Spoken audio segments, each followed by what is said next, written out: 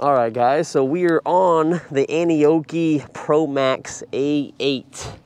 And to turn the bike on, I mentioned this in my review video if you didn't see that, you need the key. So unfortunately, I'm gonna have to have this big old mess in my pocket while I'm at work the whole time. And yeah, I could have separated, so I just had one and one and just left these at the house. But since I sell these bikes super quick, I don't wanna lose the set. You know, I just wanna keep them all together. So anyways, to turn the bike on, you hit what is this right here? There you go. So you just hit the power button twice and then your thing comes on. I know it's a little hard because I got my phone right here because I want to be able to see our mile per hour. And since it's a, such a huge battery, we should be able to hold like 30 something miles per hour the whole time. And I have not charged this bike at all. So just keep in mind when I do this whole trip going back and forth to work, I didn't charge it from my video review. So now that you guys know that, we're just gonna be putting miles on this so we found out in the video review that our speedo on here, on the actual bike itself, it could probably be adjusted if you go into the settings, but I like to review these bikes exactly how they come in for 99% of people that aren't going to mess with any of the settings. Uh, it is off three miles per hour. So you see we're doing 33 on here or 32. Now we're doing 29 on here. When we're doing 33, we're doing 30 on here. So something to keep in mind, it is off from factory. But still, 30 miles an hour is perfect for this bike, especially for the big battery that we have. We're gonna get so much range. And in this video, I'm not gonna be pedaling. I'm just gonna be using the throttle only at all times, so I'm not gonna get the best range possible. This is probably gonna be the worst case scenario that you're gonna get, unless uh, you're heavier than me, which I'm 165, 170 pounds. I always like to say that in like all my videos. If you're turning, then go you're not turning, okay. Can't tell. Their car has like an auto turn on feature, auto turn off, and it's not starting. I heard it turn on twice. That car's broken. those people had their turn signal on for like the longest time. They weren't even turning, man. You don't know what's going on out here. You gotta be careful. Their turn signal's still on. Turn that shit off. That's one thing to mention on this bike is that it does not come with any turn signals. I'm not mad about it. It's just something that I wanted to mention and point out. Uh, turn signals are something that's cool on bikes. I really prefer them on bikes that go about 40 plus miles an hour, maybe let's say 35 plus miles an hour. But when you're doing just class three speeds in the bike lane, you're pretty legal. You don't really need turn signals. You're not really gonna be in the road because not any road around here anyways. Maybe if you live somewhere that's 20 or 25 miles an hour, then it might benefit you a little bit. But around here, I'm not gonna be in the street with this bike. And then we have our dedicated headlight button right here. We got a walking mode, which we found out walking mode is like four miles per hour, which is super cool. And we do have a slight delay on the throttle as well, as you probably just saw right there after uh, stopping and starting again. Thanks, lady. She didn't even bother to look this way. You notice that? She just looked at that truck and she's like, all right, I'm going. It's like, at least look, man. I mean, I would have slowed down regardless. Like, I mean, someone's walking, I'm going to mow them down. I'm going to hurt them more than I'm going to hurt me. But it's like, hey, just pay attention. You know what I mean? Give some respect to people that are on the road. I know I do.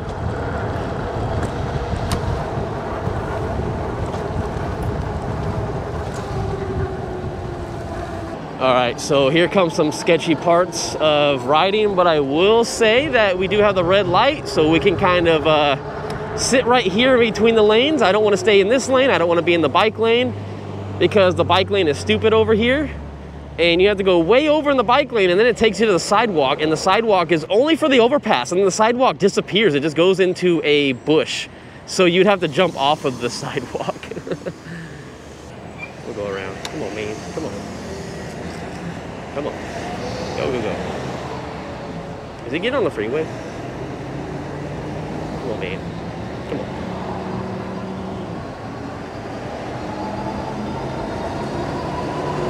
A little sketchy. Don't do what I do, but hey, I'm trying to get over because I got to get over on this little section, right? And of course, I did not beat the traffic, so that's great.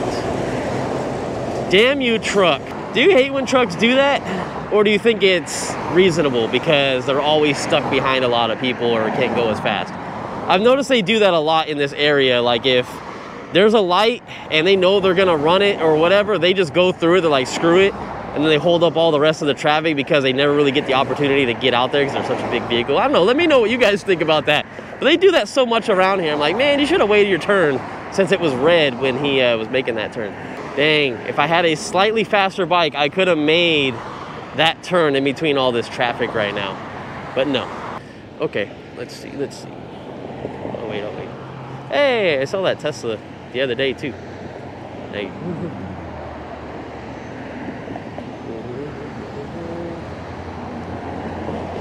Can I go, truck? Can I go? Thanks. All that because of that one big rig truck, man. That sucked. Hey, now we're hitting 31 miles per hour. There we go. Dang, and so far we have 12 miles on this bike. That's what the odometer says, but we know in our, my video review that it was off as well. All right, so we're going with the wind right now and we're still hitting 30 miles an hour. That's one thing that's super impressive on this bike is the fact that you have such a big battery that even though all bikes, anything electric is gonna have voltage sag, but since this battery is so big, you shouldn't lose your mile per hour for a very long time. What is this guy doing? What are you doing, buddy?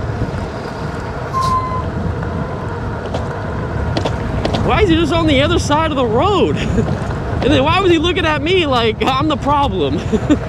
what the hell is going on? Fresno, man, damn. Oh, he's gone now, where the hell? he disappeared. Oh yeah. This baby turns very well. Uh, I mentioned in my video review that you want to lean back a little bit when you turn this uh, bike because the handlebars are so high that when you turn them with your weight up front, it feels a little awkward. It feels like you don't have that much control of the bike. But if you really lean back, it feels a lot better and more stable. So there's something to keep in mind. And now real quick, we're coming uphill while people are staring at us in their car. Everyone's like, what the hell? Uh, it's not as fast as the Edea. Yeah, it is not getting up the hill as fast. We were doing 27 miles an hour in the Edea Trooper 01 this one's only doing 22, so that gives you an idea of how fast this bike is coming uphill. It doesn't have that much torque, but it's definitely a heavy bike. It's, I think, 101 pounds, and the battery is like 33 pounds by itself. But you're really not buying this bike for the power. You're really buying this bike for the range, and that's literally what this bike will give you. And real quick, coming downhill 33 miles per hour, and on the display it says 35. So we're almost at 30. Oh, okay, there we go. There we go. All right. That's what I figured. The biggest thing I would be worried about this bike though, the fact that it does 100 miles on throttle only or 200 miles if you put in like eco mode and pedal, is I would probably throw some motorcycle tires on here because if you can go that far on this bike, do you really want a flat when you're like 50 to 100 miles away from your house? I don't think so. So I would highly recommend putting motorcycle tires on here but the thing is, it is going to take a little bit of range away, but who cares about that? You're getting so much range anyway. But the biggest thing it's going to take away is a torque. You're going to lose some torque on this bike. So just keep that in mind if you do put motorcycle tires on. But then you won't have to worry about getting a flat a lot of you guys told me to do a range test on this bike and as much as I would love to, that's the reason why I haven't charged it since my video review. When I first got this bike, I have not charged it since the first mile I put on here. So we're gonna go off this display even though it's slightly inaccurate. Uh, but what I'm saying is I don't wanna do 100 miles away from the house or riding around and get a flat and I have no one to pick me up. That worries me a lot. So uh, I'm not gonna do that big of a range test. I'm even worried when I would take my Onyx RCR that had the most range with the 55 amp hour battery in there, of uh, going places and getting a flat. It always scared me. Super 73, not too much. We got motorcycle tires. You're really not gonna get a flat on that. It's gonna be very rare. But man, one little thorn could pop these tires. They are thicker than the average one, but still, you can get a little tiny thing in there and man, it's gonna ruin your whole entire day. I might need like Uber XL and be like, hey, I got a bike. Can we put the bike in your vehicle? Because I don't have any friends that are free that have trucks. I just don't want to set myself up for failure. So I don't think I'm going to be doing that. But I do think another video should be in the works on this thing while I ride around after going back and forth to work and just continue to put miles on it and see what our battery indication looks like. There's no voltage reading, I'm actually kind of mad there's no voltage reading, but we do have a battery bar system. It doesn't work as good, but no under voltage sag and everything like that, it's still at five. It's never dropped one, so that's crazy. I would like to at least see it go down like two battery bars, so we're down to three left. Maybe on our third video, if we do it, uh, maybe we'll get there. But I'm not charging this bike. There's no point. This is one of those bikes that you can kind of ride all week long and not have to charge it. What happened to that Model Y? It's just sitting there. You know Model Ys tell you when the light screen, right? It has a little chime. It's all ding. He wasn't paying attention. now coming up this overpass, we're doing a little bit better than the previous one. We're doing 24 miles per hour. Oh, now 25, but we are coming up to the top, so that kind of makes sense. So 22 and then 24 on this one, but still not as good as the Adia. That's crazy. Coming down this overpass, 33 miles per hour. 34, oh, just for a brief second. Looks like we're gonna get to work at exactly the same we did the other time on the Adia, and that's 5.9 miles roughly when I get to the front door. All right, we made it here in one piece. Now you guys just have to give me nine hours until I get off, and then we'll do the night riding footage. We'll see how these lights look, the brake light, all that kind of stuff. I'm really interested to see that because we already know the range is good, so there's really no point. I mean, we're gonna check that out too at the end when I get home, but I really wanna see how these lights perform. And I can't turn the bike off with using this button. I forgot, you gotta pull out the keys, which I feel the keys in my pocket because I got so much stuff in my pocket. So I have to pull these out and hit the unlock button. I don't understand that. Makes no sense to me. What's up? It's bulky. Yeah, it has a, remember your battery and yours? It was a 20 amp hour battery. This is 60. It's three times bigger than the battery that was on yours. Yeah, 100 miles of range with the throttle only. What? Yeah, cause it doesn't have as much power as the Revv 1, so yeah, you get about 100 miles of range just throttle. Yeah, I'm gonna go put this up real quick. My helmet's hot. All right, time to lock up the bike and I'll see you guys in a bit. I know I just said that, but uh, yeah, just gonna have to deal with it. Saying stuff twice today. PJ, service to the front door, PJ. Hella time has passed and I am trying to get out of here. Everyone left me already other than the janitor. I was scheduled to get off at 12 o'clock. It is 12.15 roughly I just had to count some stuff, to change the tills. I mean, I had to do a bunch of stuff before leaving, and now I really want to leave, and I don't know where the janitor's at. I have no idea like where he went. Oh, there you are. I was calling you. I, I, I live in y'all, but I go get my. Let me take a picture of this. How Oh. much is this one? Uh, this one's I think 1900 bucks. Oh shit. It has a big ass battery. This is all the battery right here. Look at how big this thing is. You see the battery? Oh. Yeah, what? Pick, pick it up. Wow, shit. It's 33 pounds of a battery. Wow. It's crazy, man. Ugh. All right, now I gotta turn it on before I leave. All right, man. All right, I'm man. gonna get out of here. Have a good night. Careful. Yeah, you too. Hopefully nothing bad happens. All right, I'll see you. See you. All right, so hitting the headlight button once on this right-hand side turns this on. Definitely needs to go down. Oh, I can tell it's crooked. Oh, man. Oh, uh-oh. I really didn't tighten that down. All right, so let's just hope that doesn't move too much. All right, let's put it in mode number five and let's get out of here. And then when I get onto the trail, I'll show you guys. But oh man, I can already tell we did not, well, actually, we, I meant I, did not tighten this headlight good enough. Holy moly. It looks like I'm flashing everybody. It looks like a strobe effect. I was noticing that when I was coming to work. Obviously, I didn't have the light on, but I noticed that it was uh, bouncing all over the place, and that's exactly what it is. It's not the light coming on and off. It's just shaking so bad. oh man, well that's something we're gonna have to deal with. Um, I need to start bringing a light with me for trips. I normally fill up my backpack. Like right now, I probably have an extra 10 pounds in my backpack because I got some drinks. We got like free items sometimes at the store on Fridays and whatnot. So I got a lot of uh, stuff in the back. Anyways, I'm gonna start bringing a light with me so then I can put one on here. So Lectric XP, they have a nice, it's called like a beacon headlight. They sent it to me for free. We're gonna be reviewing that when I do the XP Expedition, which is like a cargo bike. And I'm, I think I'm gonna start bringing that one with me in my backpack. It's nice and small and it should look very good on uh, rides like this where we can strap it on to any of the bikes and just kind of get a, uh, a good light output just to go home. But we, you know, we still get an idea of how these lights look. But wait until I get on the trail real quick. I'll pull over. We'll show you the brake light as well. So one second. All right, ladies and gentlemen, here we go. Hey, I can pull up over here because the street post light is out. It's supposed to be lit up, if you guys can even see that anyway. Okay, so make sure uh, no one's sleeping over here because sometimes people sleep on this trail. And then sometimes I've actually been caught up with people walking on this trail as well. But uh, let me get this light a little straight. Oh my God, that's so finicky right there. So, oh, all right, I bent it down a decent amount. That looks pretty damn fantastic. Let me show you with the headlight off. You don't have, oh, do you, okay, you don't have to hold the button, but there is a delay when you turn the headlight on.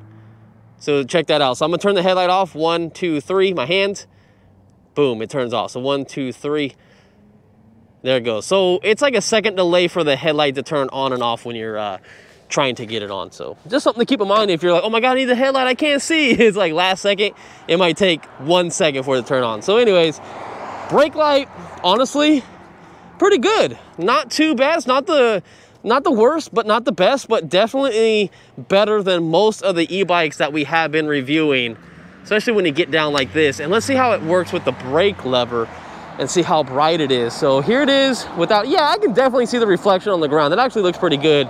And when you hit the brakes, oh, that's fantastic. That's not a bad light. All right, I'm happy with that. I'm glad they put a decent brake light on here because I think that's the main safety thing. Like, yeah, you want a nice headlight, but you also want to be able to let people that are driving a car or somewhere behind you know that you're on the side of the road because sometimes people might be drifting off, not paying attention. They don't even see you at all. And, you know, that could be your last ride. I mean, having a nice headlight is also good for your safety so you can definitely tell where you're at and what you're about to run over because that's obviously a safety thing. But I would definitely always like to have a high-end uh, brake light. And you can always get a cheap light for the handlebars if you want. So my brake light is the main thing I'm always worried about because uh, putting a brake light is not the easiest, excuse me, not the easiest thing to put on. Oh, I think I'm burping up that Taco Bell from earlier I had on my lunch. It's getting to me right now. Just, man, this headlight, dude. Oh, it just looks like I'm flashing everybody. just looks like a strobe light. So crazy. I don't know how the GoPro is gonna show this when I edit the video, but holy moly. I definitely need to darken the videos at night too that I've noticed because when I post them up, I've noticed that they had a lot of uh, noise and stuff like that. So I'm definitely gonna have to darken the shadows and when it doesn't look that good at night when I do the footage after leaving work. So we're definitely gonna have to uh, fix that. I've noticed as I was uh, coming this way, if I didn't show it on the trip yet, but we're still hitting 31 miles per hour. I don't know what we're gonna do with this hill. We're gonna find out right now. But I still, I have, it says almost 18 miles on this bike, and I still have not went down one battery bar. But realistically, that's probably about, I would say 14 to 15 miles of range right now, because my review showed that it was different. I think I mentioned that earlier in the video, but just wanna go back over it and make sure you guys know that if I tell you at the end of this video we end up with 25 miles of range, I'm roughly gonna say it's gonna be like 22. So just keep that in mind. But coming up, that was like what, 24, 25 miles per hour? Not bad, not bad at all. Coming downhill, baby, 34, 35. Oh wait, I don't have my phone up here. I just thought about that, hold on. I gotta put my phone up here because I forgot this GPS is not right. So that means when I was hitting 31 miles an hour, I was hitting probably like 28. Oh, let me pull over here and change that. I was rushing out of work, guys. I was definitely rushing. oh, man. I want to say it's probably old age as well. I'm just, I forget. I really forget. Like, I didn't text someone back for like five hours a day, and I was waiting for them to text me back. And I'm like, why aren't they texting me? And come to find out, hey, that's a stop sign. Make sure you stop. Double standard. but no, seriously, I forgot to text someone for five hours. I'm like, hey, why don't you ever text me back? And I looked, I was like, ooh, it's my fault. I'm getting, I'm getting like really bad at that. I think it's just having a lot on my plate and always doing a lot of stuff. Uh, there's gonna be a point in time where uh, I just kind of take a little break. I've said that many times, funny enough, and I've still been putting content out every other day.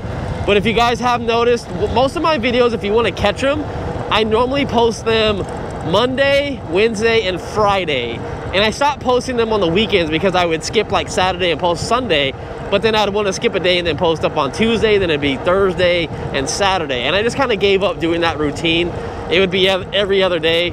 So the weekend kind of gives me a break. I've been slowing down a little bit. I've obviously been enjoying my car as well that I bought my Tesla.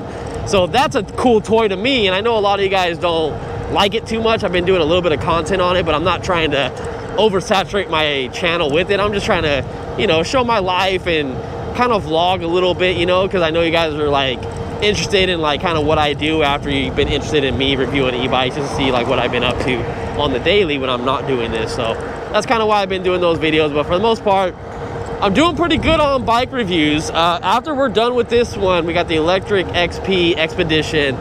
We're gonna do a video on it just as is. I got the running boards put on that the company sent me. I told you they sent me the headlight. They also sent me the bags that you put on the side so we can go to the grocery store and actually fill it up and I can actually do some shopping. So expect those videos to be coming out.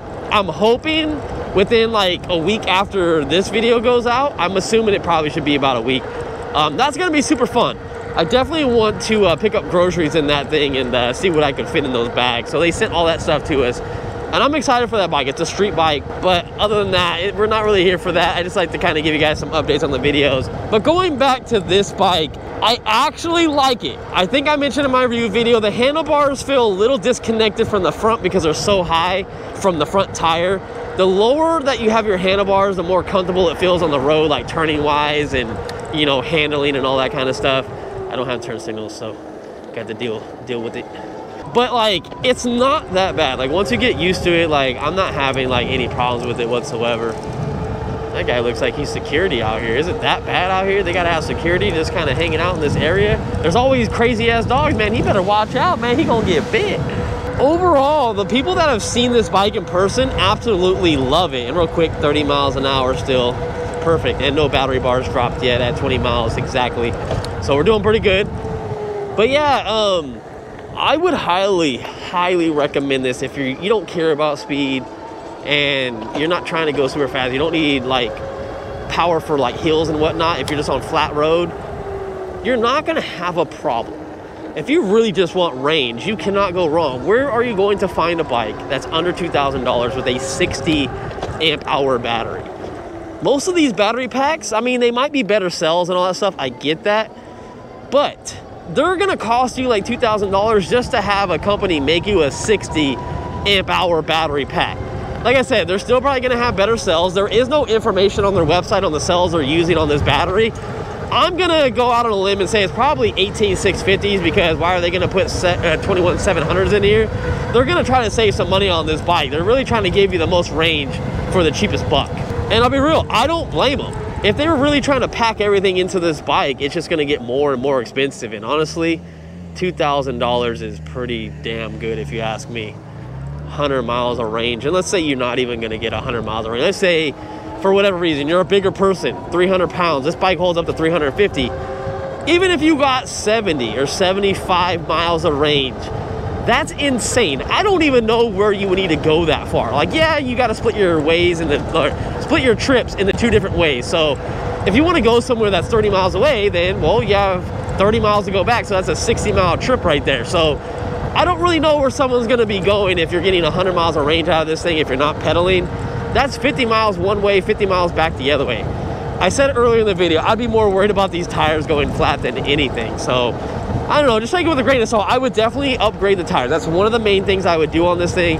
You don't need an extra battery. You're not even gonna wanna hold this extra battery in your backpack. Hell no, you do not wanna do it. You could maybe throw it on the rear rack that's back here and maybe get some bungee straps or something. It's still gonna be very heavy.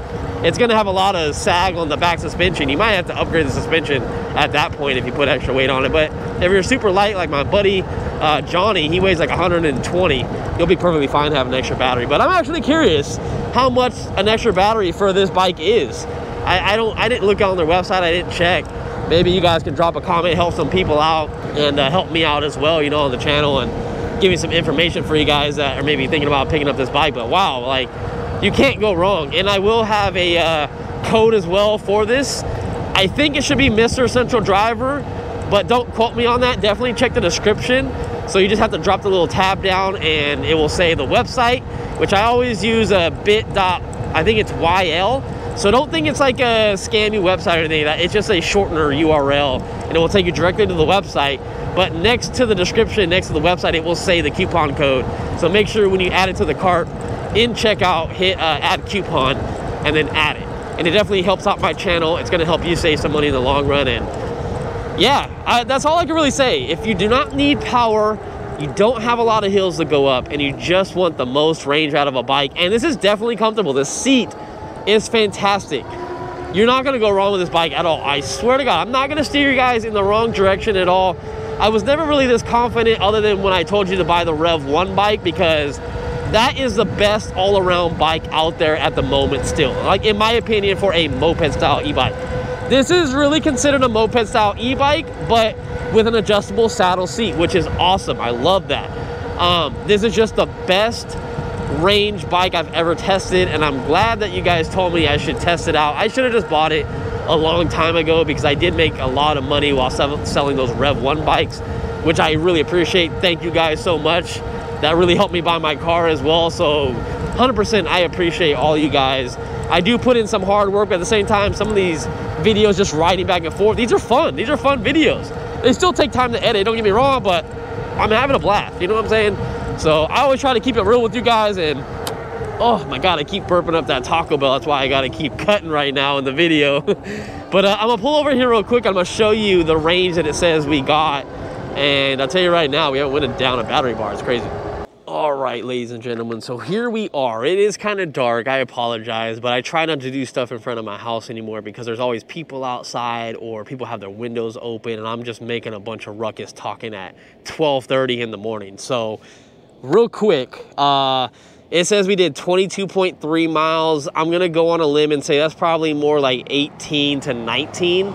Uh, I normally do about 12 to 13 miles back and forth to work. You saw that we did 5.9 miles. I'm just going to round that up to six miles. So let's say we did 12 miles on this trip. Most of the time, I do about eight miles uh, riding, six to eight miles riding it for my video review. So I guess you could say maybe, yeah, 18 to 20 miles on it. We haven't went down a single battery bar and there's no way to check voltage. If you hit this icon, you can see this switching, the trip, max speed was 36.8, but we know that's a lie, so I think 33 is the max we hit. Yeah, 33.5 is what we hit. And don't go off this mileage because I turned my phone on super late, so we didn't get the half of the trip coming home. But this bike is cool. And then our average speed was 27.7 miles per hour. Yeah, there we go, baby. That's what you do when uh, you don't want to pedal. I don't like to pedal. Uh, you do have a walking mode. I'm going to see if the walking mode works if you just sit on the bike. Oh, Oh, well, it does and doesn't. It's kind of struggling to move. So, but we're doing two miles an hour. So I guess this would be great if you're like kind of uh, where there's a lot of people walking or something like that. That'd be kind of nice. But if you do step off of the bike and make sure no one's behind me, and damn, that is so bright. It's crazy. Um, here we go. So holding the walk mode, it has a little walking thing. It should do like four miles an hour.